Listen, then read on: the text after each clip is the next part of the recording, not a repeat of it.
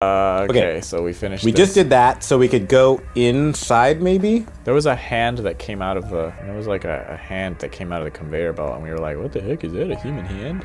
Yeah, there it is. And It's holding something. Job. A gamma level card. It's a restricted area. I should go there to investigate what's going on. So go there to investigate what's going on. Ah, yeah, that guy's from uh, France, I think. oh, was that an Italian accent? But am I better? Closer? Uh, I think it was Chinese. I go here. Upstairs. Okay, upstairs. Can I just parkour over here, please? I don't want to go around. Can't.